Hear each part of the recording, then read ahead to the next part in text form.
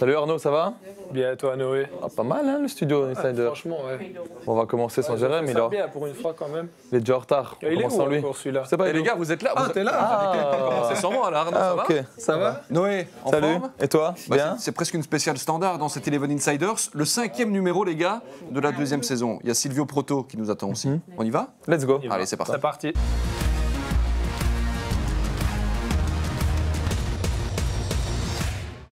On est là, on a pris place avec Arnaud Baudard, Noé Ducène et Silvio Proto, comme annoncé. Silvio, studieux. Comment ça va?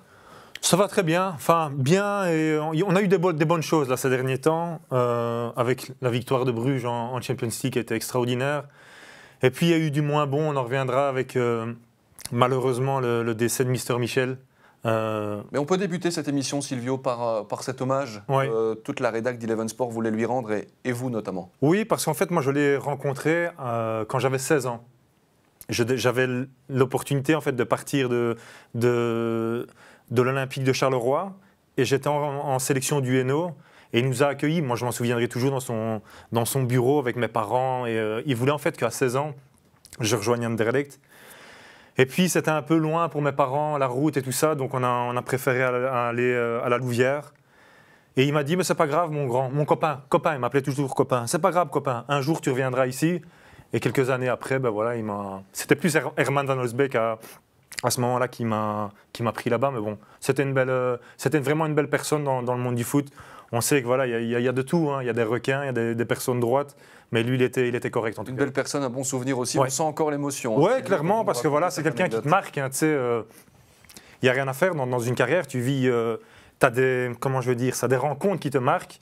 Et lui, m'a marqué. partie. Ouais, clairement. ouais. Bah, merci pour cet hommage, en tout cas, voilà, qui lance cette euh, Eleven Insiders, cinquième numéro déjà de, de la saison. Merci à Marc Delire, hein, qui était là la, la semaine dernière. Nous, maintenant, on est, on est en forme avec deux Liégeois. On est content de recevoir deux joueurs du Standard dans cette émission. Mhm. Noé, Arnaud, euh, bah, ça fait plaisir. On sait que la saison dernière n'a pas été euh, facile. J'espère que le plaisir est partagé quand même, d'être venu jusque Bruxelles. Ouais, plaisir partagé, c'est clair. Évidemment, ça c'est sûr, la route, c'est simple, c'est tout droit. Co- Covoiturage en plus. Covoiturage. J'avais une première question. Ça fait quoi d'avoir des primes de victoire C'est la question pour mettre tout le monde dans l'ambiance. Avant, avant de parler des, des primes de victoire, les victoires. C'est- C'est pour ça qu'on joue au, au foot, bien évidemment. Non, on, on blague, on blague parce qu'on l'a, on l'a mal vécu quand même. Ouais, évidemment, on aura l'occasion d'y revenir, mais vous connaissez cette émission. Il y aura tout à l'heure la fiche de scout de Silvio Proto. Pourquoi faut-il recruter Arnaud Baudard? Pourquoi devrait-on s'en méfier? Pareil avec Noé Ducène. Ce sera pour dans quelques instants. Notre célèbre séquence Face ID aussi. Que se cache-t-il dans votre téléphone? Ah oui, Fond d'écran, musique, tout ça, tout ça. On apprendra à faire connaissance euh, avec vous de cette manière-là dans cette émission. Mais on va débuter avec le Google Me. Silvio, vous, vous connaissez, vous êtes pratiquement là chaque semaine. Mhm. Google Me, on tape votre nom dans le moteur de recherche Google Mhm. et on voit ce qu'on trouve comme résultat. Arnaud, c'est un exercice que tu fais régulièrement, taper Arnaud Baudard et voir ce qu'on dit sur toi? Non, Non? Non. Tu l'as déjà fait? Oui, j'ai déjà fait par curiosité voir ce qui se racontait, mais comment c'était un peu mis en place, mais sinon, non. Non. La fiche Wikipédia est correcte. Elle l'était, je pense. Maintenant, j'ai pu regarder. Donc, Ne pas oublier le but que tu avais marqué euh, récemment. Nous- Ça aussi. N'oublions quand même pas. Noé, toi, ça t'arrive? Euh, non. Non. Euh, j'ai un bébé de 7 mois à la maison. Je peux dire que j'ai plus le temps de regarder sur le téléphone et occupé. ce qui se passe. euh, non, pour le moment, en tout cas, non, je le fais pas. Comment va Roméo? Tiens, Super bien, très bien. Euh, on a eu des petites péripéties, mais maintenant, euh, il va de mieux en mieux. Il grandit, c'est c'est le principal. et comment va Anaïs? Arnaud? Très bien. Vous êtes mariés ou pas? Non. Non. Ah, Encore question encore. piège, tu le mets, de, Mais tu le mets la difficile. là. question piège. ouais, parce que je pense qu'elle attend. Peut-être un petit coup de pression. Ah. Allez, on, on y va avec cette séquence Google Me. On, on a fait évidemment la recherche pour vous. On a tapé euh, Noé Ducène euh, pour commencer. Et l'un des articles sur lesquels on est tombé, euh, c'est Ce 9 sur 9 est important pour la confiance. Déclaration euh, d'après-match, après victoire aussi du côté de, de Saint-Tron. Euh, Noé, 9 sur 9, ça fait du bien. 509 jours que le Standard attendait euh, trois victoires consécutives en, championnat. Comment vous parvenez maintenant, tous les deux, à, expliquer euh, cette spirale positive et, ces victoires qui s'enchaînent?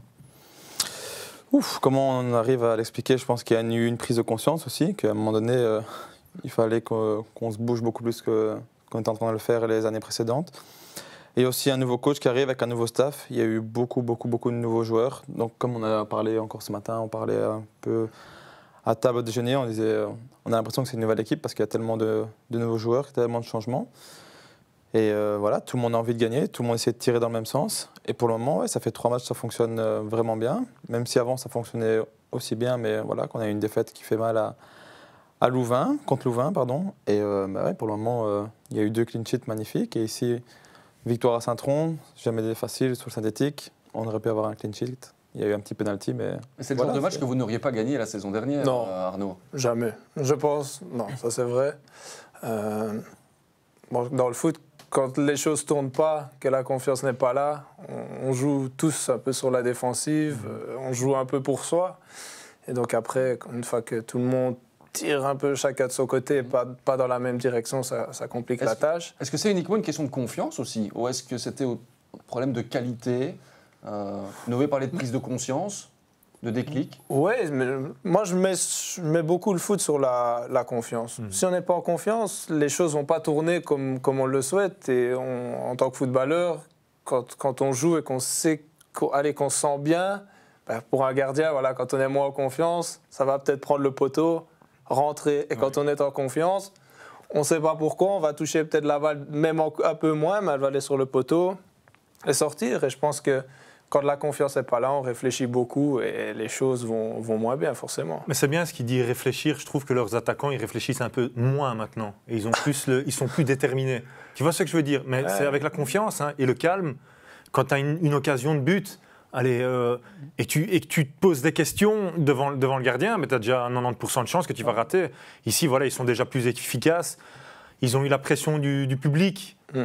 qui fait que ça les a réveillés aussi à un certain moment. Donc il y a une prise de conscience, comme vous dites, que on est joueur du standard. Et quand tu es Et- joueur du standard et que tu as le public derrière, tu dois donner Et quelque une chose. pression positive depuis le début de la saison et le changement Ouais, de coach, les gars. Ouais. L'année dernière, c'était pas le cas. Ça Non. aussi, ça a changé. Non, et puis, et puis pourquoi est-ce que quand on. Voilà, cette saison, on gagne un match, on gagne un deuxième. On est allé à Saint-Tron, on a gagné ce match dans un contexte toujours compliqué, parce qu'on sait bien les, les chiffres, les statistiques. 15 ans des sans matchs à victoire. Ouais. Pourquoi? Pourquoi? Alors que voilà, la saison passée, on avait vraiment du mal à, à gagner un match, mais quand on gagnait un match, on n'enchaînait jamais le deuxième. Noé, il a insisté là-dessus, le, le coach, dans le vestiaire avant le match, en disant Les gars, ça fait 15 ans, si vous voulez continuer d'être ridicule, vous pouvez, mais sinon, il y a moyen de, de changer l'histoire. Mais le coach ne parle jamais de choses négatives. Donc il Non. ne va jamais dire qu'on est ridicule. Il va dire ouais, c'est le moment peut-être d'écrire une nouvelle page, de, d'avoir notre nom inscrit, comme quoi on a cassé cette série de 15 matchs euh, perdus à Saint-Tron. Moi je ne savais pas non plus, c'est juste euh, avant le match que j'ai appris qu'on, qu'on avait fait ça. Donc c'est vrai que c'est, quand tu regardes 15 ans, c'est énorme. J'avais, j'avais 15 ans, je jouais encore en moins de 17 ans. Donc c'est, C'est un peu surréaliste, mais oui, non. Ici, voilà, il y a une prise de conscience. On savait qu'on pouvait aller gagner là-bas, parce qu'on s'est tous dit, voilà, il faut qu'on fasse un bon résultat. Il y a la possibilité de le faire. Tout le monde, comme je dis, tout le monde a la confiance pour le moment. Tout le monde voit du positif. Et quand, quand j'ai toujours dit, quand tu vois beaucoup de positif, le positif te, te revient. Mhm. Et pour le moment, c'est vrai que ça tourne. Dans le groupe, l'ambiance, vous la sentez comment? Parce que vous parliez pratiquement d'une nouvelle équipe avec les transferts qui sont arrivés. Il y a quand même des joueurs qui sont là aussi depuis la saison dernière. Euh, là aussi, ça, ça a changé. On imagine que l'ambiance, elle devait quand même pas être terrible, terrible la saison dernière. Ah ouais, non, ça c'est sûr. Mais là, maintenant, elle est, on va dire, bon, elle est, pas, elle est bonne, quoi. On espère encore enchaîner plus de victoires et qu'elle devienne très bonne, mais elle est, elle est nettement mieux. Et forcément, ça, les, les victoires, ça amène de, de la bonne humeur, des sourires. Et on, on vient aux entraînements le lendemain ou le surlendemain avec, euh, avec la banane, forcément. C'est plus facile pour le capitaine aussi, Noé, que, que tu es Ou pas? Mais il y a toujours quand même eu une bonne ambiance. C'est vrai que maintenant, elle est un peu différente parce que, ouais, comme tu dis, il y a, il y a tellement de nouveaux joueurs. C'est, c'est vraiment une, autre, une nouvelle dynamique, une autre dynamique. Je dis pas que, enfin, oui, elle est bien sûr pour l'instant, elle est meilleure, mais je pense qu'on doit continuer là-dessus, s'appuyer sur euh, nos principes de base qui sont être bon en défense et ensuite en attaque, on a des, joueurs avec beaucoup de qualité qui arrivent dans l'équipe, donc qui vont faire la différence. Donc c'est- si on défend bien, on peut, on peut gagner et c'est sur, ce que voilà, c'est vraiment sur cette, euh, cette défense que le coach insiste énormément, être vraiment solide défensivement et ensuite offensivement, euh, ils feront le boulot les attaquants. On va reparler évidemment à la fois du coach, à la fois de la tactique, de ce qu'il a mis en place dans, dans quelques instants. Euh, Silvio, j'ai aussi envie de, ben, de vous interpeller. Du point de vue extérieur, on sent aussi que ce standard n'est pas encore tout à fait serein dans Non. beaucoup de situations, mais on sent quand même en tant qu'observateur, Ouais, il y a quelque chose, hein, on, c'est on- sûr. on sent que ça a changé. Et c'est bien pour le football, hein, le football belge, parce que clairement, ces dernières années, le standard n'est pas à sa place. Euh, Et moi, quand j'entendais parfois, j'aimais bien tes interviews, hein, tu sais, tu dis ce que tu penses. Et lui, il sait, c'est que c'est parce qu'il a, son sang. Tout le monde a le sang rouge, mais lui, il est doublement rouge. Et, euh, euh, il y en a qui ne savaient pas, ils étaient là, mais ils ne, sentaient pas cette, pression que, tu dois performer au standard. Ils ne, connaissaient pas en fait les enjeux de jouer au standard. Et là, je pense que petit à petit, maintenant dans les mentalités, j'ai bien aimé ce que tu viens de dire, euh, Noé, que le coach est positif, sans le critiquer. Parce que moi, je ne connais pas l'homme, je ne connais pas l'entraîneur, il est peut-être bon ou pas bon. J'étais tombé sur une interview de d'Mbailey. Bon, toi, tu ne peux pas m'en parler parce que je pense que tu as eu deux trois, deux, trois, deux, trois problèmes avec. Vous mais qui disait, qui disait à la- à- après le match, vous étiez qualifié, je pense, pour une demi-finale de Coupe de Belgique, et qui disait Je ne suis pas fier de vous. Et là, on était dans le divan avec mon épouse, on dit Mais il est fou, lui, ou quoi? Il a son équipe qui s'est qualifiée. Ouais, non, je ne suis pas fier de vous, non, non. Que du contraire, tu dois. C'est un, un jeune groupe, tu as beaucoup de joueurs de. Tu dois être positif, tu dois, tu dois amener de la sérénité, du calme. Et je pense que cet entraîneur apporte ça aussi. Il, a, il apporte aussi sa, sa grinta. Là. Il n'a pas encore été dansé avec les supporters. Mais... Si, si. Si, il a déjà été, ouais. Après chaque match Ouais, oui, mais Après c'est- chaque match, il y va.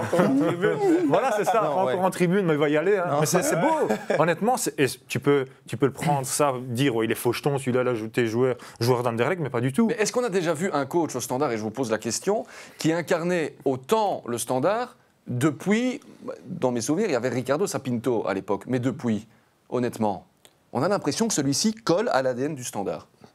Ouais, la- l'ADN, ouais. Clairement.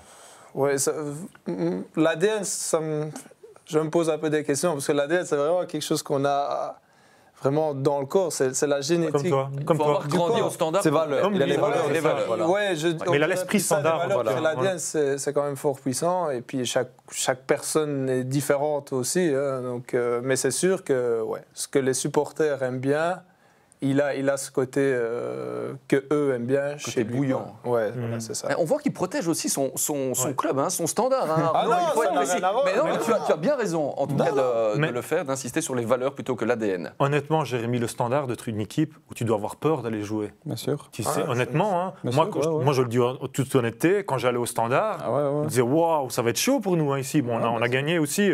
Après, il y a une historique avec les supporters et tout ça, bon, que je regrette un petit peu parce que voilà, on a, on a tort partagé.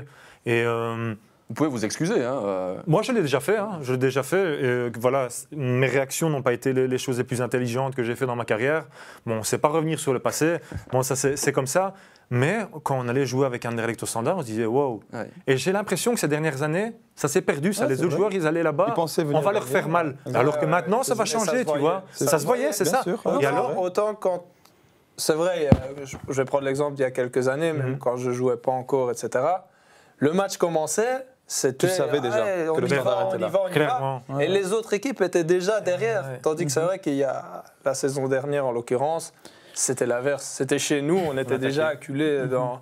On va leur faire mal. Au lieu de dire Ouais, voilà, attention, non, on monte sur le terrain, on va leur faire Et- mal. et C'est le en- moment parce qu'ils sont pas bien. Alors que maintenant, ça va commencer à, chan- Ouais. à Et les changer. joueurs le déclaraient, hein, les joueurs ou même entraîneurs en conférence de presse d'avant-match euh, n'avaient pas peur de le dire. Et ça, ça, vous le- c'est quelque chose. Vous le viviez comment? Parce que ça, c'est quand même un peu un manque Ah, de respect, Ah, c'est sûr, on a essayé d'appuyer euh, là-dessus un peu pour, pour réveiller tout le monde, mais bon. Voilà.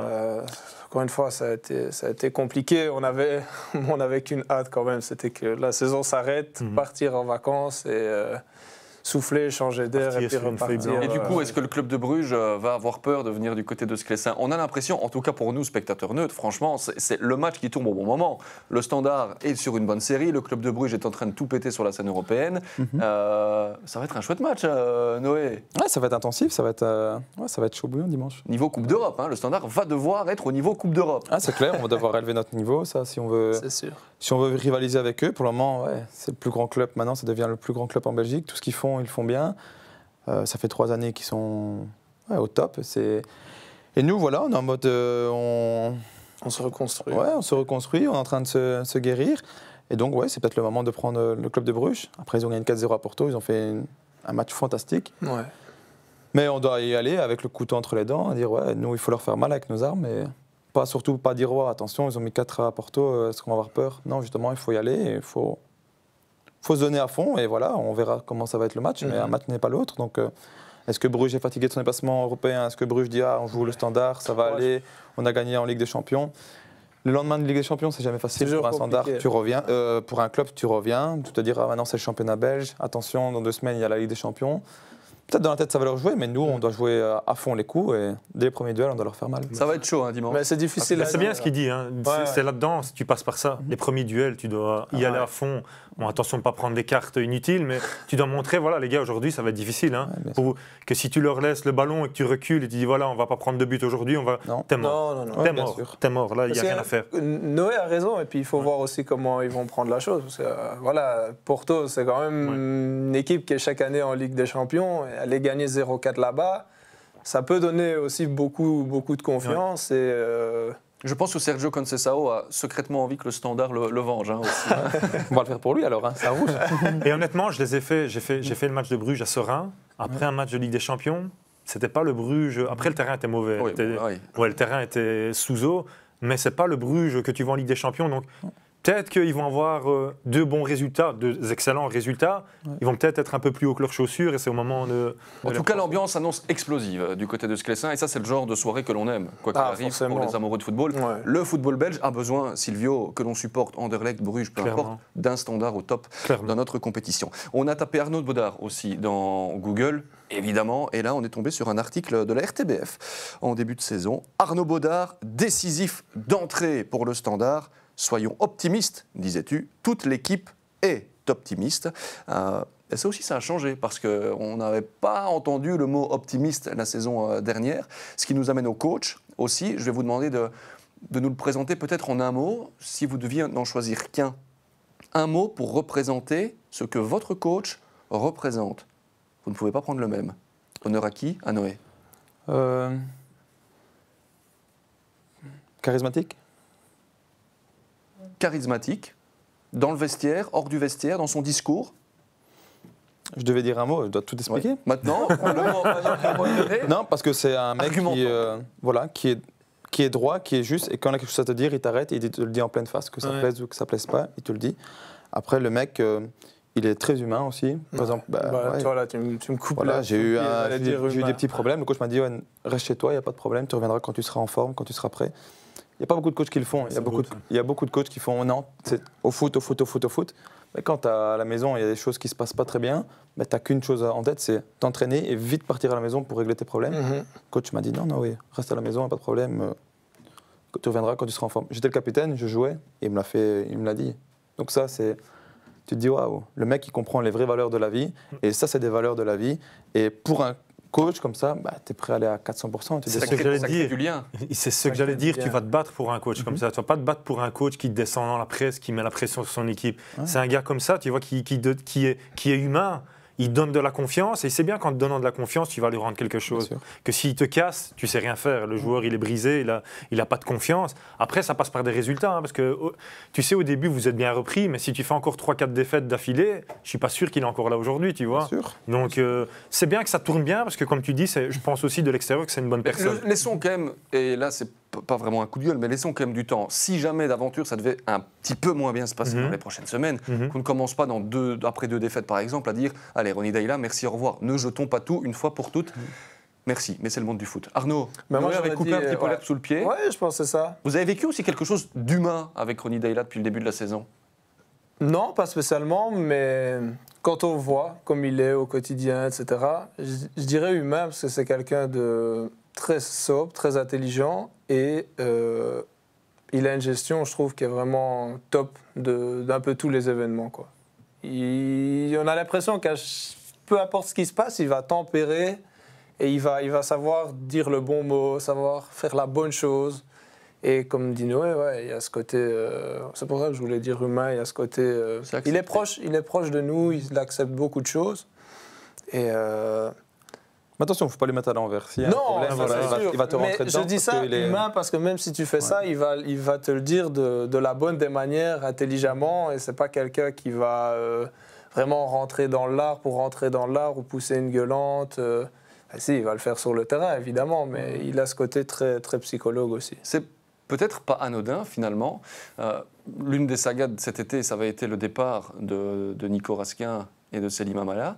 Est-ce que c'est un hasard finalement que ces deux-là soient encore là? Est-ce que le coach, vous avez vécu évidemment la, chose de, l'intérieur, est-ce que c'est pas aussi le coach qui a donné envie à ces deux talents de rester? Oui, je pense que bah, par rapport à, Nico, Nico, après trois matchs, il me dit ah, Je sens que je, progresse vraiment.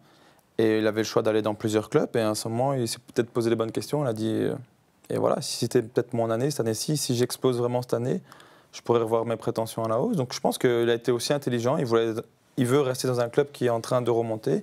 Et il veut remonter la pente avec le club. Et c'est son club aussi. C'est un Liégeois. Et par rapport à Selim, bah, Selim, il avait il est intelligent, il y a la Coupe du Monde qui arrive, il dit si je dois aller dans un autre club, un autre pays, une autre culture, un autre nouvel entraîneur, ce qui me demande est-ce que je vais être performant tout de suite? Et ouais, il s'est posé les bonnes questions et pour finir, il est resté. Et pour le moment, il est très très performant comme il a été. C'est quand même que le projet et le coach séduisent parce que sinon, même si la Coupe du Monde arrive dans, dans 3-4 mois, certains n'auraient pas eu peur de quand même partir. Non, mais le coach l'a clairement dit plusieurs fois dans la presse Nicolas et Selim, je veux absolument les garder. Ouais, puis, euh, Et ça, ça les a touchés.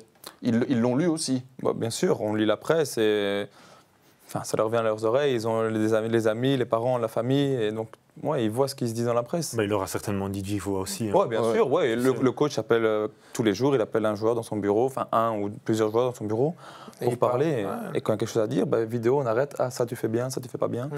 Encore aujourd'hui, j'ai eu une vidéo avec euh, Bocadi dans le vestiaire, pour, dans son vestiaire, pour dire les choses qui sont bien, les choses qui sont pas bien et améliorer. Qu'est-ce qui n'est pas bien? Ah, Le goal qu'on a pris contre Louvain, on aurait, on aurait dû mieux faire, on aurait pu mieux faire. Euh, à Saint-Tron, quelques phases qui n'étaient pas super bien non plus, on aurait pu améliorer, qui n'ont pas coûté de goal, mais si on le refait, ça pourrait nous coûter des goals. Arnaud, par rapport aussi à ben Nicolas Raskin, qui a un cas ben, un petit peu je voulais parler de Nico, oui, c'est quelqu'un, bon, on sait tous ce qu'on a vécu, enfin la situation dans laquelle on était, et Nico, au final, était l'un des seuls qui, gardait, qui a quand même gardé le cap dans, dans ces moments très compliqués. Donc euh, c'est pour ajouter en plus à ce que, ce que Noé a dit. Et puis a, il a bien repris aussi le, cette saison. Et quand on prend bah, Selim, Selim ouais, a eu beaucoup, beaucoup de mal aussi la fin de saison dernière. Et puis euh, voilà, on a repris le championnat et il est, très performant. Donc c'est pas, pas anodin non plus. On ne revient pas comme ça. Euh, du jour au lendemain à niveau. Donc c'est forcément des choses qui se passent positivement, mentalement et dans, dans, dans le collectif et dans, dans, le cadre du, dans le cadre du club. Noé, tu le connais bien, euh, Selim. J'ai mhm. presque envie de vous appeler les Montois. Euh, on, sait que c'est un joueur fantastique, mhm. euh, mais Selim, peut-être plus qu'un autre, doit être bien dans sa tête ah pour pouvoir être le talent qu'il est. Oui, mais Salim, c'est ça. Je le connais depuis qu'il a ouais, depuis 12 ans. Quand j'avais 12 ans, je jouais avec son frère et puis j'ai joué avec lui. J'ai fait du covoiturage avec lui, je prenais tous les matins. J'allais le déposer presque à l'école après, après les entraînements. Mais c'est quelqu'un qui travaille au mental. Ça, c'est... Mais comme tous les joueurs, mais peut-être lui un peu plus que d'autres joueurs. Et l'année passée, ouais, il était... c'était plus dur pour lui. L'équipe ne tournait pas. Et c'est vrai que c'est un 10. Et s'il ne reçoit pas des bons ballons de de derrière, il ne sait pas non plus se mettre en évidence. Mhm. Donc pour le moment, c'est vrai qu'il est, il est bénéfique pour l'équipe et il est bénéfique pour, euh, pour lui, surtout pour lui, car la Coupe du Monde arrive encore une fois. Et voilà, c'est une belle, une très très belle vitrine pour lui. Ce qui a vraiment les bons côtés hein, de, de Céline, mais c'est pratiquement dans 95% cette saison. Et puis il y a ce qui se passe à, à Westerlo de mémoire, où il mhm. prend ce, deuxième carton jaune. On se dit, là, on, sentait que ça partait un petit peu en sucette parce que sinon, bah, il ne la fait pas, cette faute-là. Oui, c'est une faute de, de, de frustration. Parce que quand c'est vrai qu'il on n'arrive pas à faire des choses, peut-être qu'il se frustre. Et à ce moment-là, bah, c'était, c'était, on jouait le tout pour tout. Je pense qu'on est revenu à 3-2 à ce moment-là. Le coach me dit reste devant. Et c'est vrai qu'il y a une contre-attaque. Et Selim fait, fait cette faute. Mais directement après le, match, ben voilà, il s'excuse. Le coach lui dit directement tu ne dois pas faire cette faute. Mais encore une fois, on passe par quatre chemins, on dit les choses directement. Ça fait peut-être mal sur le, moment présent, mais le lendemain, tu dis bah oui, tu as raison, coach. Ce que j'ai fait, j'ai pas bien fait. Très bien, mais c'est intéressant, mais j'ai envie d'aller un peu plus loin dans l'organisation même des, journées. Dans, votre quotidien aujourd'hui au standard, qu'est-ce qui a changé par rapport au standard version euh, un peu catastrophe de la saison dernière? Arnaud? L'organisation reste un peu la même. On vient toujours une heure et demie avant l'entraînement. Avec le sourire on a, Oui, avec le sourire. Ça, c'est quand même déjà un changement. mais bon, même quand ça va pas, on est heureux d'arriver au foot et de faire ce qu'on aime. Donc, euh, euh, déjeuner, repas, euh, après Il- l'entraînement. Enfin, Ronny c'est- Deila n'a pas instauré quelque chose en particulier au-delà des meetings dans, dans- dans son Mhm. vestiaire Si, enfin, ça- mais bon, ch- chaque coach fait ça à sa, à sa sauce, mais c'est vrai que lui en fait, en fait beaucoup. Il appelle énormément les joueurs, donc peut-être un peu plus que les autres coachs. On pour vous a pas encore appelé là, vous avez mis vos téléphones en mode On avion. les a mis en mieux d'avis. et euh, ouais, ça. Et puis, euh, je pense qu'il y a peut-être une. On a moins, on- disons qu'on a un peu moins de, de mise au vert, et puis euh, on on vient un peu plus tard au, le jour de match. Mais il insiste c'est Simplement, sur les, c'est- les détails. Ouais, c'est vraiment des trucs minimes, quoi. Parce qu'au Moi, je pense qu'il insiste vraiment sur les détails. Donc, quand tu fais une passe, par exemple, il dit toujours Ouais, Noé, si tu fais une passe, elle doit casser une ligne, battre deux, trois hommes. Et c'est vrai que c'est tous des petits détails. Parfois, tu fais pas attention, tu joues de façon automatisme. Et par exemple, moi, quand maintenant je reçois la balle, je dois vraiment essayer de casser une ligne et qu'il y a trois joueurs euh, adverses qui doivent, qui savent plus défendre sur le joueur qui a la balle. Parce que parfois, tu fais une passe latérale, mais en fait, tu n'avances pas, puisque tu as, 10 joueurs qui sont derrière. Mhm. Tandis que tu fais une passe, tu as 7 joueurs, et ainsi de suite, tu peux avancer. Et ça crée de l'espace pour ben, le numéro 10 qui est Selim, qui, peut, qui, qui a un homme en moins sur lui aussi, parce qu'on savait avant, au standard, si tu bloquais Selim, tu avais 50% de chance que le standard tourne moins. Maintenant, tu as d'autres joueurs autour de lui qui arrivent aussi à faire la différence. Ben, c'est fou Silvio parce que c'est quand même un petit peu les basiques du foot. Bon, pas, pas partout, en Italie, ils jouent comme ça aussi, c'est vraiment, euh, allez, d'essayer de battre comme, euh, comme aux échecs ou euh, un jeu de dames, hein, c'est vrai, tu, tu élimines ah, directement ils des joueurs, ouais. c'est comme ça, et ce qu'il dit, c'est vrai, hein, tu fais une passe, tu élimines trois joueurs, tu en as déjà moins au milieu, euh, non, c'est logique, c'est un football plus direct, comme tu dis, Euh, il y a moins de... Moi, je trouve que vous êtes plus juste aussi techniquement que... que le- mais ça fait aussi...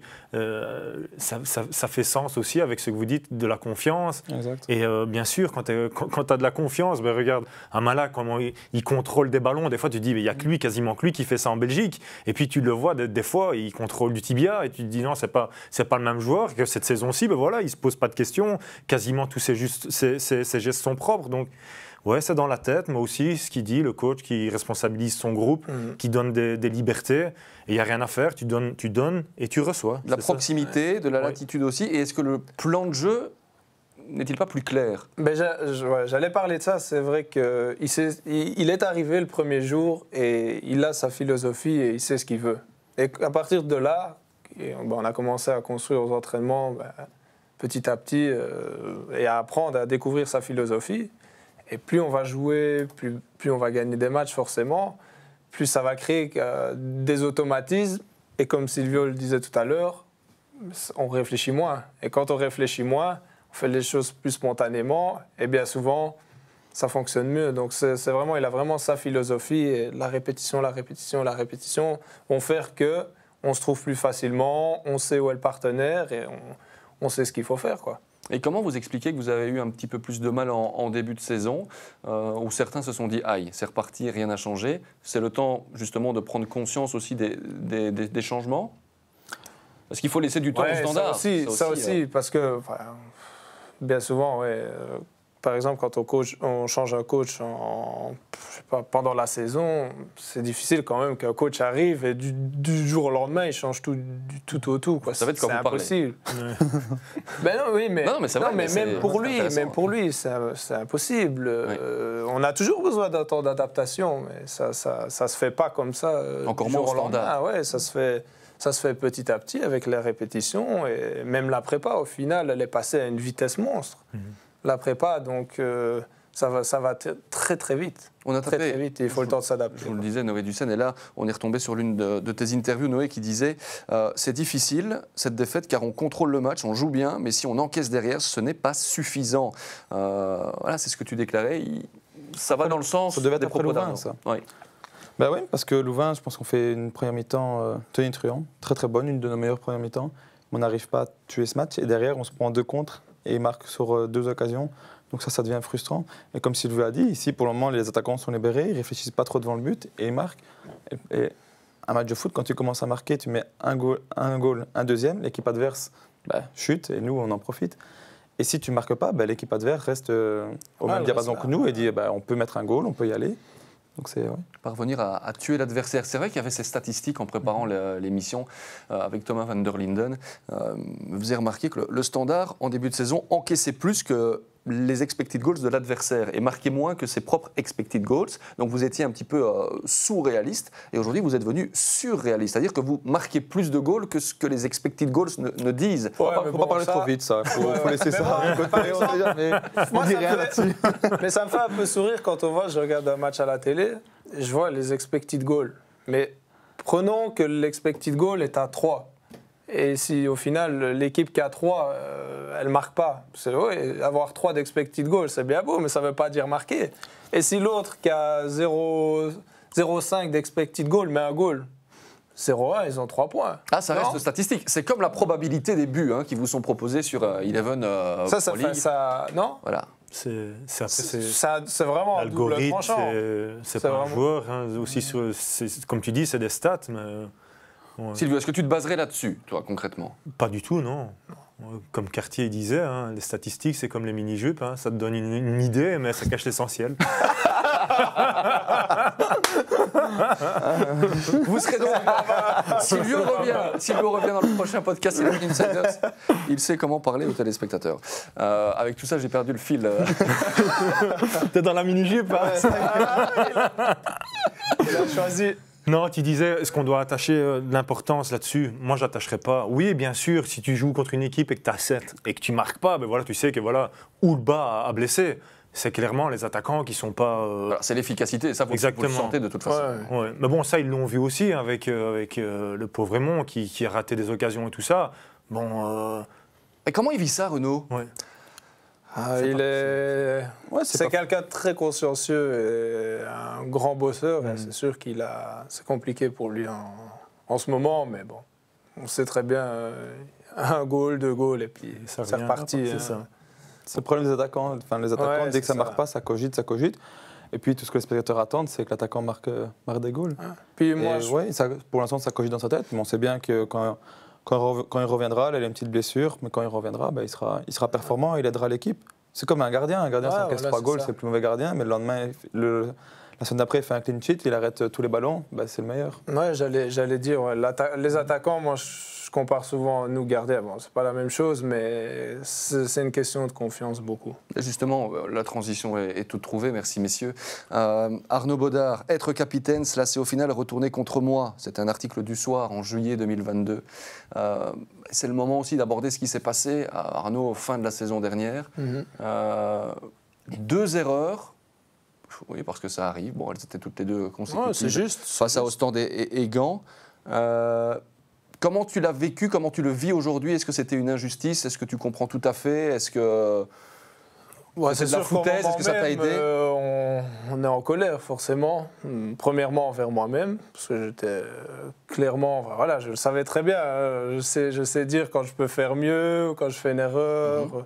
Donc, euh, ouais, c'est- les faits, les faits sont là, évidemment. Parce que deux matchs, en plus, deux fois, je passe à côté et on perd. Donc, euh, c'est sûr, il n'y a pas photo. Mais voilà, j'étais un peu en, en colère par rapport à la manière. Donc, Et pas par rapport au coach qui dit quand même, bon, deux erreurs là, c'est trop, Arnaud, viens sur le banc. Un petit peu, mais le, le premier fautif, au final, c'était moi. Mhm. C'était moi. Donc, euh, donc voilà, après, voilà, il, il s'est passé ce qui s'est passé avec le coach. Et puis on, a mis, on, on en a parlé tout de suite le, le lendemain, parce qu'il s'était rendu compte qu'il était allé un, un peu loin. Quoi. Est-ce que c'était suffisant pour toi? Ouais, je ne suis pas quelqu'un je suis pas quelqu'un de, de rancunier ou quoi que ce soit. C'est pas, Moi, j'aimerais quand même bien aller un petit peu plus loin, c'est peut-être que ça n'a rien à voir, mais est-ce que tu sentais dans cette période-là de la saison, au moment où tu as commis ces, ces- ces deux erreurs consécutives, que tu étais peut-être dans ta tête déjà un petit peu moins bien? Est-ce que tu sentais que tu étais un petit peu down dans cette période-là ou pas ouais, du tout? ouais. Ouais? Si, si, je sentais, je sentais sur le terrain que ça tournait moins bien. Je me sentais ouais, moins bien dans la tête, évidemment. En plus, on, on gagnait, on gagnait pas trop de matchs. euh, on- J'encaissais quand même pas mal. Donc, pour regarder, c'est toujours frustrant. Ça tourne moins bien. Et pour en revenir au, au fait d'avoir été capitaine, pour moi, dans ma personnalité, c'est pas. J'ai tenté de l'expérience, mais c'est pas quelque chose qui me correspond. Je suis plutôt quelqu'un de, de calme et je, je préfère faire les choses tranquillement, faire mes trucs quoi. T'es plus Et- introverti et là, en fait. Ouais, plus voilà, introverti ça, et faire ton, match. Et Et puis, voilà. J'ai- je me suis mis un peu de côté en quelque sorte et j'ai essayé de beaucoup, beaucoup faire pour le club, pour aider, l'équipe. hein. On a eu beaucoup de réunions entre nous, avec la direction. avec les supporters. Et puis quand on est des interviews, bah, on répète, on répète les mêmes choses. Tu croises quelqu'un dans la rue, bah, qu'est-ce qu'on te demande, Ah, qu'est-ce qui se passe?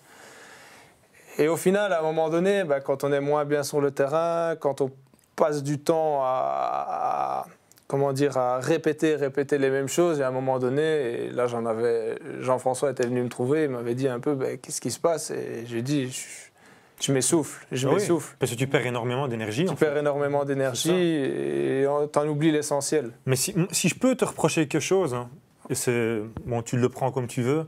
En fait, tu dois reprendre avec beaucoup plus de recul. Ouais, c'est Parce que ça. si on t'a donné le brassard, c'est que tu le mérites. Hein. C'est pas toi Ouais, qui a été demandé, c'est à moi le brassard. Donc c'est que eux, ils estiment que toi, tu as les qualités Mm. pour. Et honnêtement, moi, de ce que je vois, tu as les qualités pour être un, un capitaine. Après, si toi, tu me dis voilà que t'aimes pas, euh, t'aimes pas euh, prendre des responsabilités, quoi qu'il arrive, tu les prends. Donc ça, tu, tu Ouais, peux pas dire vrai que. que dans le goal, les responsabilités Tu les sont as. là. Ouais. Donc que tu es un brassard ou pas, pour moi, ça change rien. Ça change rien parce que t'as- y a, derrière toi, il n'y a personne. Il va peut-être te Non, sauver une ça. fois sur euh, 50 matchs quand tu fais une bourde. Et le truc que je peux te reprocher, moi, c'est là-dessus que je viens, en fait, tu t'es trop affiché, en fait, dans... dans... En fait, tu t'es tiré une balle dans le pied en disant, c'est ma faute. Tu vois, parce que Ouais. quand toi, tu fais un bon match, tu vas pas dire, c'est grâce à moi. Non. Tu vois ce que je veux dire? Et ça, c'est ce que j'explique aussi à mes gardiens. Tu le sais quand c'est ta faute. Ça sert à rien de te tuer en public parce que les gens qui ne le savent pas que c'est de ta faute, ils vont te tuer. Alors que quand tu as bien joué, que tu es le meilleur homme du match, Ouais. ils vont toujours trouver Ouais, mais lui, il a marqué. Ouais, mais lui, lui, derrière, il a fait six arrêts. Et tu étais aussi honnête aux interviews. Hein, de- Oui, mais je sais que dans ma carrière, ça m'a desservi à certains moments. Et alors, ça te fragilise. Et ta position elle a été fragilisée aussi à cause de ça. Et certainement que le coach, il a fait une erreur. Parce que pour le même prix, ton deuxième gardien, il se plante aussi. Et alors, qu'est-ce que tu as Tu as deux gardiens qui sont tous les deux morts. Tu fais quoi après? Tu mets le troisième, quatrième Ou l'entraîneur de gardien? Non, c'est c'est compliqué. C'est Ouais. juste. Ouais, c'est juste. C'est juste. Et puis. euh, Tu, tu as senti que c'était plus le même Arnaud? Et toute l'équipe n'était plus la même. Et, euh, je pense qu'il y a pas, on peut pas tirer un joueur l'année passée et dire ah t'as fait as fait une bonne saison. Il n'y en a pas un. Donc euh, c'est vrai que bah ouais, Arnaud travaille aussi beaucoup avec euh, beaucoup avec la confiance et ici il l'avait plus mais c'est normal parce que chaque comme il dit chaque semaine on encaissait donc chaque semaine il devait dire Ah, je dois sortir des arrêts je dois sortir je dois sortir donc il se met une pression en lui plus tout ce qu'il a dit comme pression qu'il avait. À un moment donné le vase il est trop plein. Il faut pas oublier, il a 24 ans, hein, le gars. C'est pas, euh, c'est pas qu'il a 29 ans, qu'il est au, for- au- au top de sa forme. hein. Il sera, il sera que au top de sa forme dans, dans 4 ans. Et là, tu le verras toi-même. Mhm. Après, de 28 à 31, 32, tu vas te dire, ouais, là, je suis, je suis vraiment bien. Mhm. Là, tu es encore en période d'apprentissage. hein. Il est jeune. hein, bon. Et puis c'est ça, c'est ça que je dis, ouais, voilà, j'ai en quelque sorte expérimenté la chose et à l'heure actuelle, bah, avec le, le recul dont, tu parles, bah, je me dis que c'est peut-être pas à l'heure actuelle euh, le- la meilleure chose pour moi. C'est toi qui avais bon, demandé du coup après, à ne plus dans le être cap- futur, le futur euh, dévoilera les choses. Donc c'est toi qui as demandé de ne plus être capitaine ou c'est vraiment une décision? Non, c'est une décision du. oh, le coach, bah, on a fait des, réunions individuelles euh, un par un en début de saison. Et Mhm. puis, euh, il m'a questionné. hein, il m'a questionné. Et moi, je lui, je lui répondais honnêtement. Je répondais honnêtement. Et puis, euh, il a fait son choix. Et Bon, je pense le, ca- que- le capitaine, euh, voilà, aujourd'hui Noël ouais, incarne C'est ce, tout à fait correct. ce- ce rôle-là, Noé. Est-ce que ça change finalement euh, Bon, c'est beaucoup de choses? Est-ce que, tu, est-ce que tu sens en fait qu'il y a plus de pression quand on est capitaine? Ben non, parce que moi j'ai toujours pris la parole, même quand je jouais pas, quand euh, j'étais pas capitaine, j'ai toujours pris la parole dans le vestiaire, j'ai toujours essayé de donner un- la meilleure parole d'avant-match pour encourager au maximum, et j'essaie d'être toujours un exemple, par exemple, aux entraînements, en dehors du foot, euh, dans le vestiaire, euh, quand on mange, j'essaie toujours- d'être le entre guillemets le modèle, qui, ben, s'il y a une question à poser, ben, tu viens me la poser, je te réponds et, et on s'arrange. Pour moi, ça change pas grand-chose, juste que j'ai le brassard et, et que je choisis le terrain avant de commencer le match. Quand tu gagnes, Ouais, quand je gagne le toast. ouais. Sauf ici, je l'ai perdu à Saint-Tron, on a eu la balle et on a changé de terrain. Donc, euh, Ouais. pas compris. Ah, c'est vrai? Ouais, c'est vrai. Ah, on a eu la balle et on a changé. Ouais. Ah, ouais, ok. ça nous avait pas, Je vous avoue que ça ne m'a pas spécialement marqué, mais euh, c'est bien la d'avoir prochaine fois, sois attentif. C'est pas grave. C'est promis. bah, bon, c'est parce que j'avais vu. Nos téléspectateurs sont attentifs sur les réseaux sociaux aussi. Ils vous ont laissé quelques questions. Et Tom Andris nous dit euh, bonjour.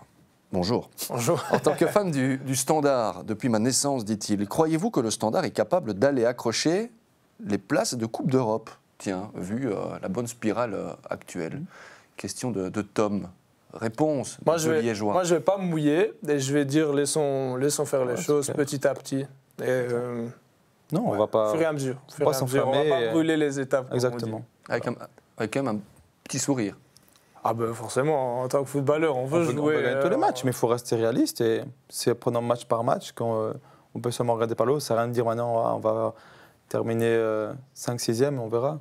Mais les gars, on parle du standard. hein. Bien Ouais, sûr, mais on parle, mais on Bien parle sûr. de la passée. Mais, c'est ça que tu dis, on parle du standard. Le standard doit jouer les Coupes d'Europe chaque semaine. Bien comme- sûr. Chaque année, excusez-moi, comme Anderlecht, comme Bruges, comme Genk, mais tu en as toujours un qui foire. Mais c'est vrai, vous savez d'où vous venez. Hein, faut- Exactement. Ouais, c'est ça. Honnêtement, on va pas brûler voilà. les étapes. Exactement. Mais voilà. pour avoir Mais eu tu dois la avoir- chance de jouer des matchs de Coupe d'Europe, Ouais. Voilà, le but n'est pas d'arriver c'est- c'est 9e. hein, magnifique. Ah non, non, non. Voilà. Non, non, c'est magnifique. Mais tu peux pas On le dire veut, que- bien sûr, voilà, mais tout le monde. veut. Quand on regarde les, les autres jouer en Ligue des Champions ou en, Bien en sûr, Europa League, euh, on est derrière sa télé. Ça... Tu aurais sorti le, le but d'Erling Haaland ou pas? Est-ce que tu l'as vu déjà, le but d'Erling Haaland Euh, Ouais, je l'ai vu. Je l'ai vu. Incroyable, hein Je, je sais pas si je l'aurais sorti, mais Moi, je suis honnête, non, moi, je l'aurais pas sorti. Ouais. C'est un but qui vient d'une autre. euh, on sait pas. Il je est dans le pas petit- sur dans le. Tuchel était dans le duel peut-être. Ah, j'étais- on n'est pas à la place du gardien, donc. Ah, un mec qui fait quand même c'est 2 pas- mètres devant, euh, 95 Ouais, voilà. kilos, vas-y. Ah, Ah, il faut. C'est incroyable ouais. quand même. Je sais pas qui va réussir à le bouger. C'est beau, hein, honnêtement, ce qu'il fait. On Bah là, Il bat, il tous les records. Ouais. Bah là, comme il joue, ça dépend que de lui. C'est vraiment. On dirait que c'est le seul où ça dépend que de lui. quoi. Et qui vous fait un petit peu peur et qui est difficile à bouger en Pro League? Quand vous avez un match, là, vous vous dites Ah ouais, ouf, j'avais oublié qu'il était là celui-là. Déjà, tu ne dois pas te poser la question, parce que si tu te poses la question. très bonne dire- réponse, Ça veut dire, ouais, ça veut dire que tu stresses avant un match. donc, euh, Très bonne réponse. Moi, j'avais joué contre, euh, je pense, Wes- Wesley, quand on était à Bruges. Et Ouais, c'était un des meilleurs attaquants, parce qu'il était costaud, puissant, il était rapide, il était technique. Lui, il était vraiment très, très, très bon. Très, très, très fort. J'avais eu du mal à jouer contre lui. ouais. Arnaud, il y a un attaquant Non. quand il arrive en 1 contre 1 où tu On dis, réfléchit pas. On réfléchit pas. Enfin, je serais plus du genre, à, même si je sais pas l'équipe qui commence en face, bon, forcément, c'est contre qui on joue, mais même si je connais pas l'équipe, jouons, jouons, et puis ça, ça ne veut pas nécessairement dire grand-chose non plus. hein. On va Hon- revenir un peu sur les. studios. Honnêtement, moi, je te dire un truc. Moi, il y a une fois où j'ai pas stressé, mais je suis parti par perdant, perdant excuse-moi. C'était contre Messi, en fait, avec l'Olympiakos en, Champions League contre Barcelone. Ouais, mais alors, on parle, Et là, de, on parle de et- ouais, Messi. Voilà. Et là, je me suis dit, tu sais quoi? Si tu prends trois buts aujourd'hui, tu auras peut-être fait un bon match. Ouais. Et pour finir, on a gardé le zéro. J'ai eu un peu la baraka, je suis honnête. Ils n'ont pas joué à leur meilleur niveau. Mhm. Et même mes enfants, tu vois, ils me disaient, papa, tu vas encaisser combien de buts alors que c'était jamais arrivé, tu vois C'était jamais arrivé. Donc tu pars déjà là, tu dis, wow, aujourd'hui. Mais c'est ça. Ouais, parce que Mais t'as pas de pression. Partir Ouais. perdant, ça sert à rien. Ouais, ça T'as sert pas à de pression rien. d'un autre Et truc. Un match n'est pas l'autre. Exactement. Tu sais, Il et peut tu peux, passer à côté de son match. et tu peux jouer blesser, contre, euh, tu, parles, con- tu parles de Messi. hein, Messi Ouais, mais bon, ouais, quand tu joues contre ça. eux, je pense que tu dois. J'ai- encaissé un but de, de Chevalier, Teddy Chevalier. Ouais. Il a tapé dans le sol, il a quasiment pas touché le ballon et je suis passé à côté, tu vois. Donc euh, pour les gardiens, c'est différent. Tout le monde peut nous marquer un but. Ouais, non, c'est- Tout le monde, c'est ça. voilà, tout le ça. monde, ouais, ouais. Teddy bien- Chevalier l'entraînement fait- tous les jours. Qui fait le. De quoi Que tout le monde peut marquer un but. Ah ouais, ouais, ouais. Ouais, mais il doit te donner de la confiance, c'était Voilà, devant, devant lui. voilà. ça, fon- ça fonctionne en match. Non, non, non, non. Ouais, le, exactement. le- petit Chanak, Ouais. juste une petite parenthèse. Mhm. Pied droit, pied gauche, il dépose le ballon, il veut. Ouais, non, c'est vrai, surtout pied gauche. Surtout pied Ouais, gauche. Surtout pied gauche. Ouais, pour l'instant, c'est vrai que bah, ça, fonctionne, ça fonctionne bien. J'ai déjà marqué deux buts sur deux assists de, Bah ouais. de lui. Parce que je lui tire souvent les oreilles à l'entraînement. Je suis souvent sur son dos, lui, justement. Ah ouais, bah c'est bien. Bien sûr, c'est bien. Juste tirer les oreilles. Non, mais je suis derrière lui. et c'est- Voilà, je suis. C'est vrai que derrière les jeunes, ben, s'il y a un jeune qui arrive qui dit ah, moi je suis arrivé, Non. tu vois, c'est. Il, il, est pas comme ça du tout, mais Non. euh, par exemple, je dois, je dois lui dire les choses. Parfois, euh, c'est vrai, je lui rentre dedans, comme euh, le- leur troisième gardien. J'aime bien parler aux jeunes pour qu'ils apprennent. Parce que moi, quand j'étais jeune, j'avais Bertolin qui avait 32, 33 ans et qui était derrière moi avec Niquez. Il me fouettait euh, les fesses pour dire bouge-toi, bouge-toi, Avoir. Niquez derrière soi, c'est c'est- prendre comme ça. Face avancée. Et maintenant, je les remercie, mais avant, sur le moment, je disais putain, ils sont tout le temps derrière moi, c'est chiant. Et avec les jeunes, je suis un peu comme ça, je suis souvent derrière eux. Très bien. Ouais. Les ambitions, qu'est-ce qui vous été demandé en fait en début de saison De la part de la nouvelle direction? On peut, pas tout, on peut pas tout dire ce qui- Ouais, ce qui, se dit, mais voilà, Non, on, mais on c'est veut ça. essayer d'arriver le plus haut Ouais, possible dans le classement.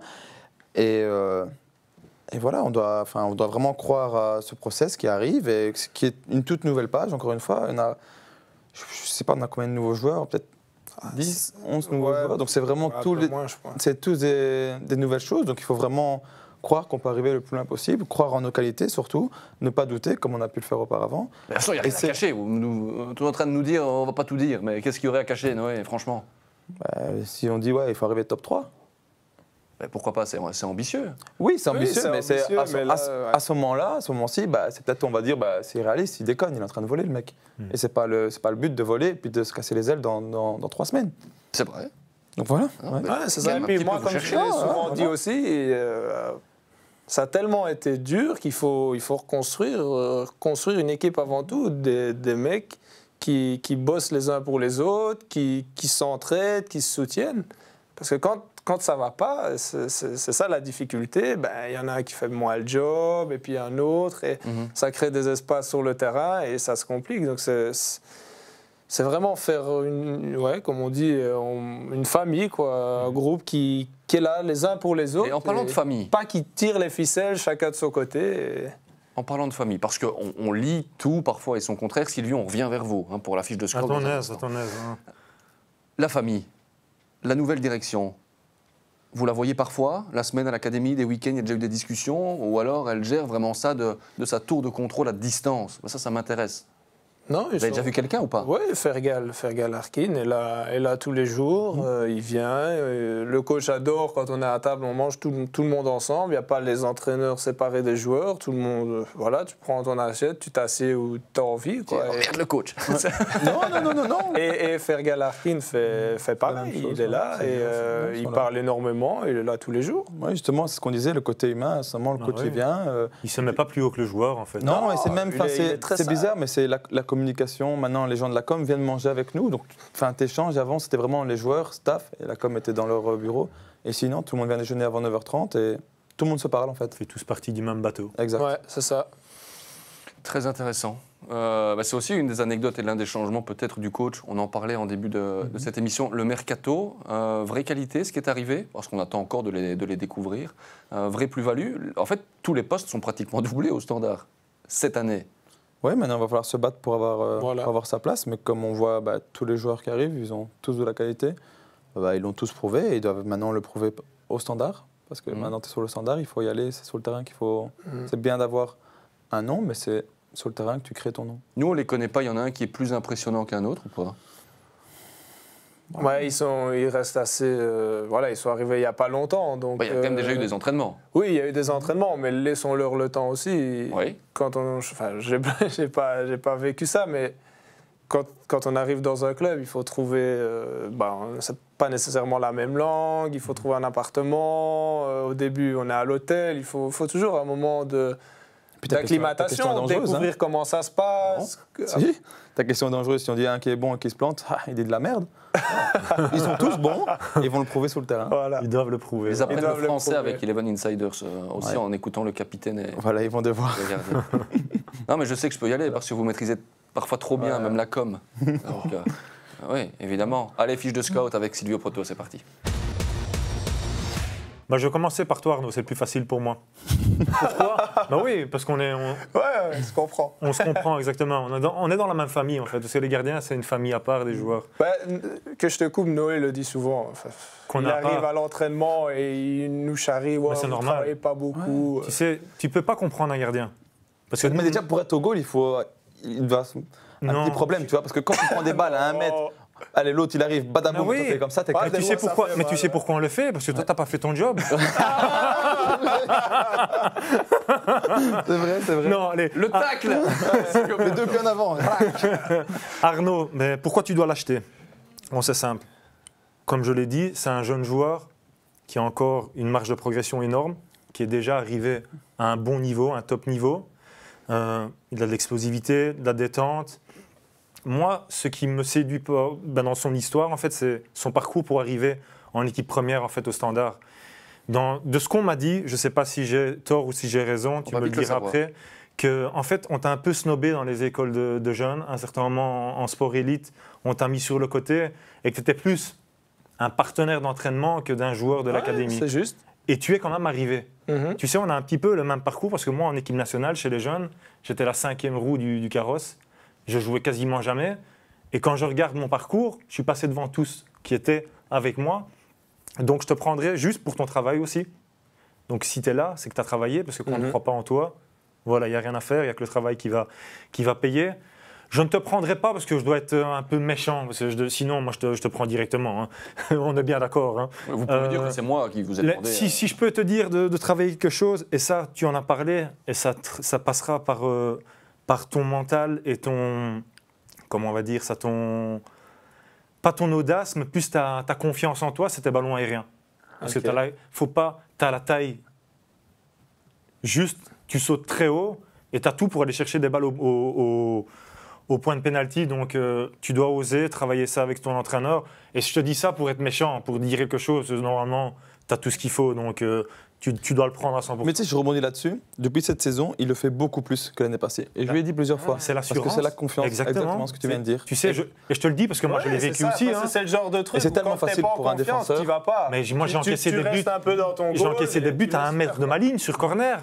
Et après, je me dis, mais t'es con, Sylvio, pourquoi t'es pas sorti Et la semaine avant, je sortais jusqu'au point de pénalty. C'est tout dans la C'est tête. tout dans la tête. Exactement. Pour, ça rassure tellement une défense quand tu vois ton, ton gardien qui saute au-dessus de toi. J'ai. Ouais. bon, tu Mais lui, ça va le rassurer aussi que quand il sort, tu lui fais un petit bloc. Tu vois que tu laisses pas se faire tamponner par l'attaquant. Il a le petit bloc, t'inquiète. tout Ouais, ben voilà, Fais attention nickel. à lui. Fais attention à lui. Mais pour rebondir sur euh, ce que tu disais par rapport au, bah, chez les jeunes, quoi, Mhm. c'est vrai que j'ai eu des moments très compliqués, mais euh, voilà, au jour d'aujourd'hui, si je réfléchis, je réfléchis à ça, c'était même mieux.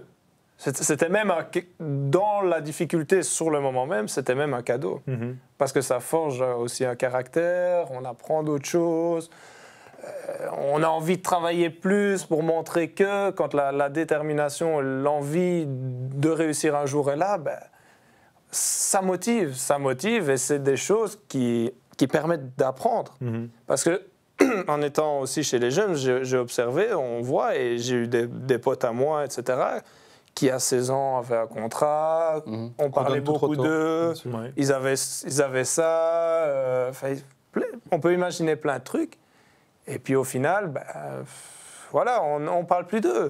Mais on parle aussi- plus d'eux. Donc c'est pas, c'est pas toujours un service Non. que ça se passe trop bien. Non, mais si C'est tu peut-être vois. même mieux, Ouais. c'est peut-être, comme je dis, même un cadeau d'avoir à ce moment-là Une petite des moments difficiles parce que l'académie, c'est fait pour ça. C'est fait pour apprendre les, les bonnes choses et les moins bonnes choses du métier de footballeur. Mais ce que je voulais dire, c'est que même si on t'a mis des bâtons dans les roues, tu y es arrivé.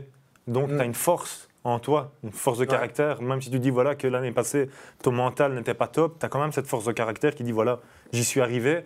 Et je peux me tromper, mais si on te dit Arnaud, tu vas jouer toute ta carrière au standard, tu vas signer.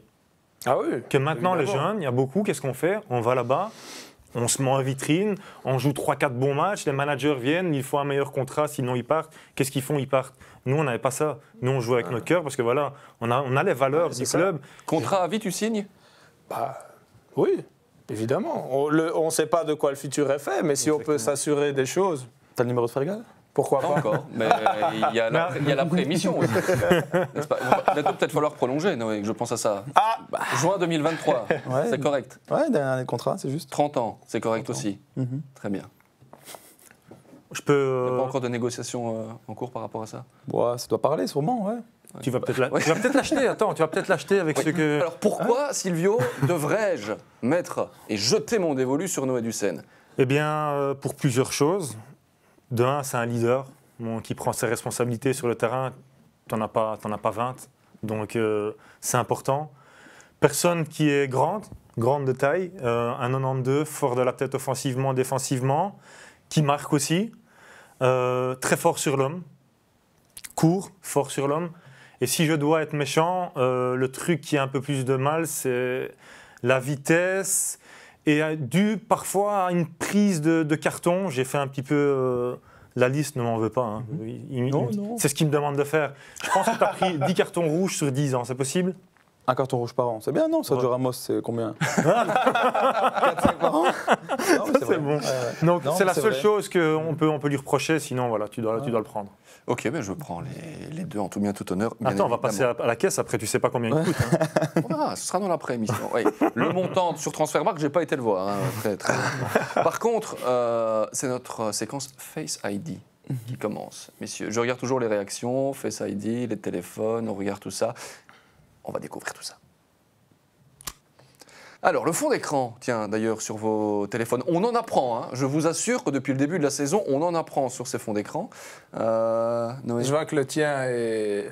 ouais. Ah, iOS 16 Oui, mais- est apparu. Ce- ce- ce- Ceci n'est pas la question, Arnaud. Moi, c'est des, des messages. Euh, Roméo, Romain et madame. avec madame, Oui, bien sûr. Ma, ma petite famille maintenant. l'équilibre. Bien sûr. Maintenant, on avait eu une fois euh, avec Silvio, ouais, c'est important. Le foot est super important. Maintenant, ce qui est important, c'est la vie de famille. Ouais. C'est Il n'y a que ça d'important en fait. quand tu as un petit à la maison que- qu'il attend que toi que tu rentres avec un sourire, bah, tu te dis, ouais. Ça reste ton boulot en fait. Les gens, ne- les, les supporters ne, ne savent pas ça, mais le football pour nous, Ouais. ça reste notre boulot. Et on peut mettre toute notre vie dans le boulot.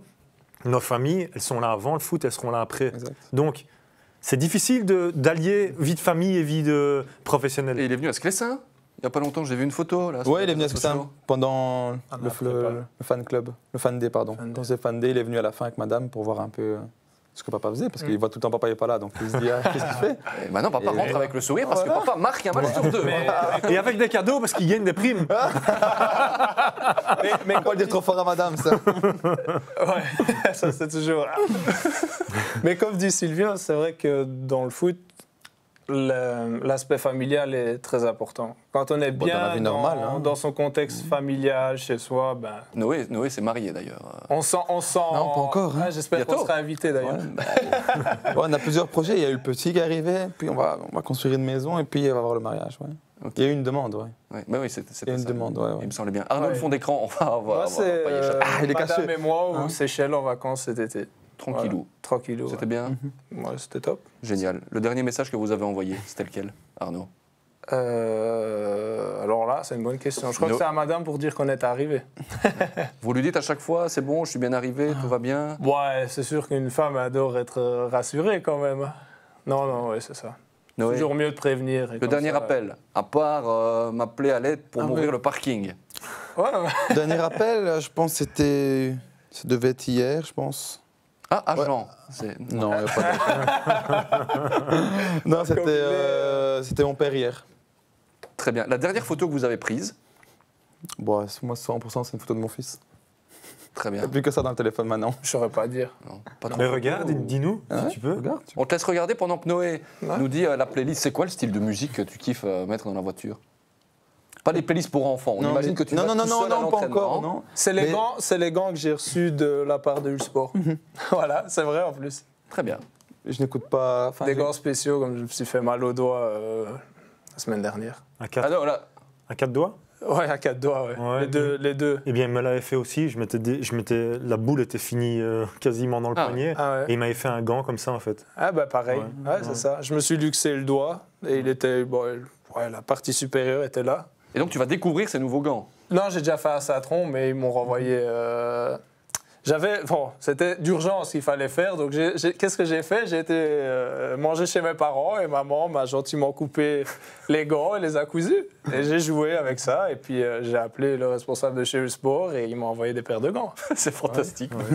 Ben oui, c'est ça aussi la Ah réalité. ouais, un gardien quand du, il n'y a du pas le choix, j'ai- Ah, non. mon doigt, mon doigt est pas solide, donc euh, il faut, faut, faut les attacher. Bon, y a- Des ballons, il va en recevoir même en entraînement. Il n'y a pas eu de Ah clean ouais, sheet avec les, a pas eu de clean sheet avec les gants de maman. Hein. Malheureusement. À encore. Malheureusement, ça aurait été trop beau. Bon, on va terminer avec la musique. On n'oublie quand même pas Mais j'écoute pas, euh, j'écoute Bah, pas beaucoup de musique en les, fait. les podcasts plutôt. Hein. Il Ouais, chante voilà. souvent dans le vestiaire. Années 80, dans ces Il n'y eaux-là. avait pas encore Spotify à ce moment-là. Franchement, j'écoute pas de musique. Je... Tu chantes quoi dans le vestiaire alors? Bah là, franchement, dans le vestiaire, nous, on est condamnés. Ouais, non, mais ouais, condamnés, on a- j'exagère. On a un mais baf on- avec la musique américaine pour le moment. on- mais J'écoute pas vraiment de musique moi. Franchement, même quand on va en déplacement, euh, j'ai j'ai rarement les oreillettes. euh. Moi, je suis Tu- plus musique euh, radio, là, qui passe à la radio. Je suis pas, je suis pas trop musique non plus. Très bien. Eh bien, on va Pas, terminer pas avec compliqué, quoi. les trois applications que vous utilisez le plus sur vos smartphones. WhatsApp. Ouais, moi aussi, WhatsApp, Ouais. En un tous les deux, WhatsApp. WhatsApp. Disons euh, Instagram. Instagram, Ouais. Facebook, je pense, ouais. Actif sur, Facebook, actif moi- sur Instagram. Non, ImaWeb aussi, moi. Ouais, ouais. Ah, ouais, m'a- ouais. D'ailleurs, De temps euh, en temps. tous les matins, il me disait arrête de regarder sur ImaWeb. Ouais, ouais, Ah, vrai. Mais il est malin, tu prépares ta- ton après-carrière. Ouais, c'est sûr. Mais là, je cherchais pour, ma, pour euh, bientôt, mais ouais, ouais. On aura un débat sur l'après-carrière des sportifs. Sylvio, Mais- vous serez invité. Il n'y a, il y a- il y a pas de souci par Ouais, rapport tous les matins, je, suis sur ImaWeb, c'est vrai. Et puis ici, Instagram et les journaux, un peu feuilleter ce qui se passe. J'espère que vous avez repartagé la story et que vous repartagerez évidemment hein, ce podcast, les amis. Noé, c'est fait. Ah oui, t'as aimé, hein J'ai la, alors, j'ai la ouais, faut que je le confirmation. fasse. C'est fait. faut que je le fasse. Petite pression. Après le mariage, après le mariage, il y a ce coup de pression là aussi. C'est le sans lampe de bois, trois questions, un seul joker. Je sais même pas si j'ai envie de leur donner un joker tiens, aujourd'hui. Pff, Franchement, on verra bien. Qui est le meilleur capitaine du coup entre vous deux? Ah, C'est Noé. la séquence un peu. euh, pff, bah, question de- un peu de. de- vous voyez. Noé? Qui est meilleur capitaine? Arnaud Capitaine, ouais, jusqu'au bout là aussi. Euh, la place du standard en fin de saison. Cette question. on- Dans le top 8 Très bien. Vous ne pouvez pas me donner la même réponse. Il a dit top 8, Ouais. top 4, comme ça. on- Très bien. Ce sera peut-être entre le top 4 et le top 8. On verra. Montagnier, Ley ou Elsner? Montagnier. Euh, Je veux dire Montagne aussi. Très bien. Pas de joker. Je vous remercie. Non. Non, mais c'est tout à votre honneur. Je vous remercie en tout cas d'être venu. On le disait, on a attendu que le contexte aussi soit, soit bon pour pouvoir faire cette émission. Euh, merci à la direction du Standard et à Ol- Olivier Smets, euh, c'est important de le dire aussi, de mettre tout cela en place, de pouvoir avoir cette communication euh, entre vous, entre nous, et de vous permettre d'être là. Merci Silvio aussi. Mais merci à toi, Jérémy. J'ai passé Mhm. un bon moment avec euh, deux excellents standardmen. C'était un standard Anderlecht, avantage standard sur le terrain numériquement, hein, en tous les cas. Mais vous avez bien joué le jeu, Silvio. Ouais, mais je vois plus grand chose sur le terrain maintenant, donc même en un contre un, j'étais mort. Les terrains de golf, apparemment, sur cela. Ah, là, on reste épais. Ah, j'ai vu des yeux étoilés. On a la discussion d'après émission. On va vous laisser. Merci pour votre fidélité. Rendez-vous sur toutes les plateformes Spotify, YouTube. On est un peu partout, euh, en fait. On va aller checker tout ça. C'est parti. À la semaine prochaine. Ciao, ciao.